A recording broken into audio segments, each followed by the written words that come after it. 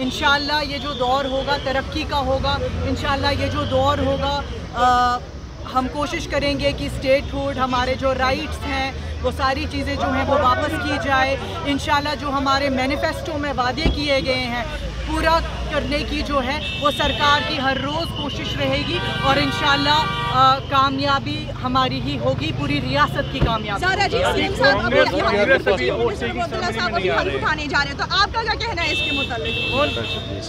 ये पूरी रियासत को मुबारक है आपको और मुझे मुबारक है कि इन हमारा अपना चीफ मिनिस्टर बनने जा रहा है जो प्रेसिडेंट्स रूल है, वो ख़त्म हो चुका है और इन एक नया दौर जो है वो शुरू होगा जो डेवलपमेंट का होगा, जो इन ऐसा दौर होगा जो खुशहाली लाएगा जम्मू कश्मीर में।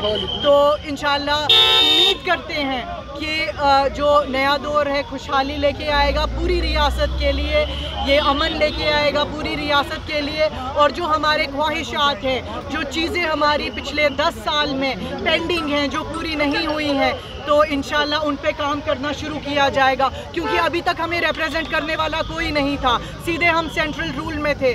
तो आज आपका अपना रिप्रेजेंटेटिव है। आप रात को दो बजे भी अपने एमएलए का दरवाज़ा खटखटा सकते हैं और पूछ सकते हैं कि मैंने आपको वोट डाला क्या किया आपने मेरे लिए? तो जो अकाउंटेबिलिटी है वो वापस आएगी। ये सबसे बड़े मुबारक की बात है। कांग्रेस आज वोट नहीं ले रही। क्या सब कुछ ठीक है और कांग्रेस के बीच। देखिए मैं कांग्रेस की स्पोक्स पर्सन नहीं हूँ जैसे आप सब जानते हैं तो मुझे नहीं लगता कि कांग्रेस के बारे में मेरा बात करना ठीक रहेगा।